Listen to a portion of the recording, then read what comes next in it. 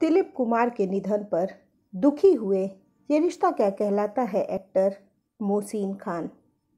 ये रिश्ता क्या कहलाता है एक्टर मोहसिन खान के फैंस ये अच्छी तरह जानते हैं कि वो दिलीप कुमार के कितने बड़े फ़ैन हैं और हमेशा से ही दिलीप कुमार से मिलना चाहते थे।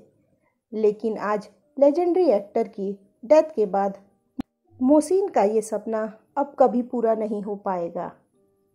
बॉम्बे टाइम से दिग्गज एक्टर दिलीप कुमार के निधन के बारे में बात करते हुए मोहसिन ने बताया कि दिलीप साहब की पूरी ज़िंदगी एक इंस्पिरेशन है।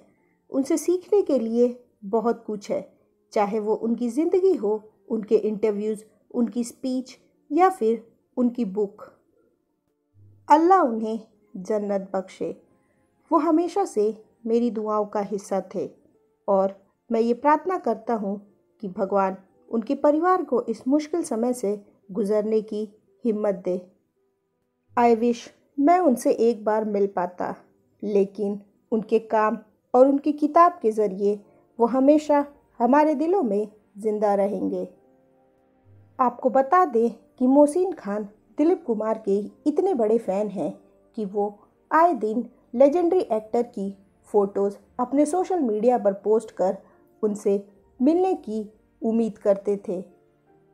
कुछ समय पहले भी अपने सोशल मीडिया पर दिलीप कुमार से मिलने की इच्छा ज़ाहिर करते हुए मोहसिन ने लिखा था कि किसी दिन मैं अपने आइडल से ज़रूर मिलूँगा। लेकिन मोहसिन का ये सपना अब कभी पूरा नहीं हो पाएगा। एक्टर ने दिलीप कुमार को अपने सोशल मीडिया पोस्ट के ज़रिए श्रद्धांजलि भी दी है। तो क्या दिलीप कुमार आपके भी फेवरेट एक्टर थे, हमें कमेंट करके ज़रूर बताएँ। और टेलीविज़न की ऐसी ही सारी लेटेस्ट खबरों के लिए चैनल सब्सक्राइब करना ना भूलें।